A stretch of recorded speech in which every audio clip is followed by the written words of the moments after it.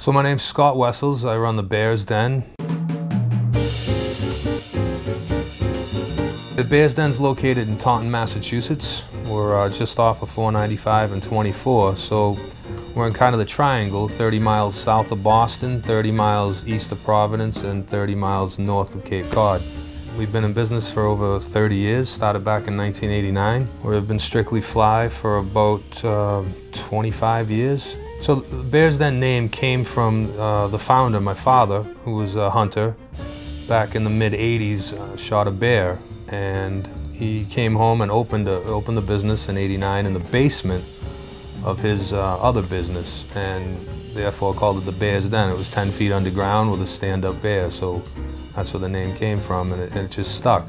I guess something unique about the store would be the indoor casting. I think is uh, is pretty cool. It's something I always wanted to have, to be able to cast year round and not worry about the weather. Um, be able to take a new rod out and test cast it against a bunch of others in, in an environment that there's uniformity, no wind, nothing to bother you, just just to cast. I think that's pretty cool. We, uh, we try to say thanks to everyone at least once a year uh, throwing the show. We do a free show every February for over 20 years. That um, I just did it to say thanks to everybody that supported us and, and saying uh, we're excited to, to be in another year. So I'd say those are two interesting things about the shop. For Douglas fly rods, most popular lines would be the Sky, Sky G. We've had excellent luck with those. People really seem to enjoy them. The upstreams are pretty sweet too.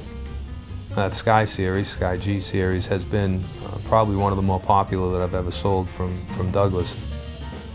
One of the things that I like the best about the shop is being able to take somebody out for a cast with multiple manufacturers. So, um, you know, if they cast something and we think that, you know, there'd be another rod that would work well for them, we can always have uh, a few there to let them try and find something that works best for them.